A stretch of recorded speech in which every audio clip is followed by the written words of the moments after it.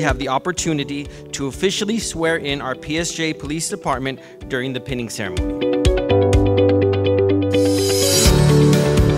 Our students, staff, and PSJA family are grateful for the service and dedication to keep our district safe and protected.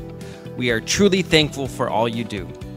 In the name and authority of the state of Texas, I do solemnly swear or affirm many things that we're doing, and, and we don't get a chance to say thank you for your service, thank you for your commitment, thank you for your dedication.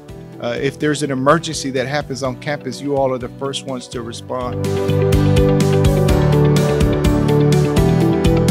If there's uh, uh, an opportunity to mentor students through our institutes, you are the first ones to start organizing and thinking about what cool ways or what helicopter y'all going to try to get to drop in so that the students can be wowed.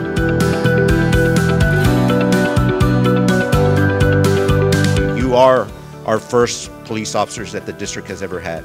And that's something that you guys should be proud of because we have, I tell you, I get calls almost daily of what we've built here and what we're driving for and, and the direction that we're going. We're a small agency, but we're very, very good. We're very talented and we have good, good, strong officers.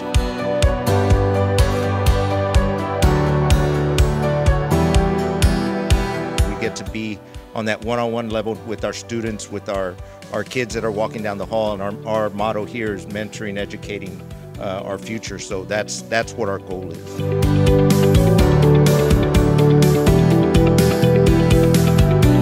Uh, please uh, give them a round of applause because for every officer, they are the backbone. Thank you.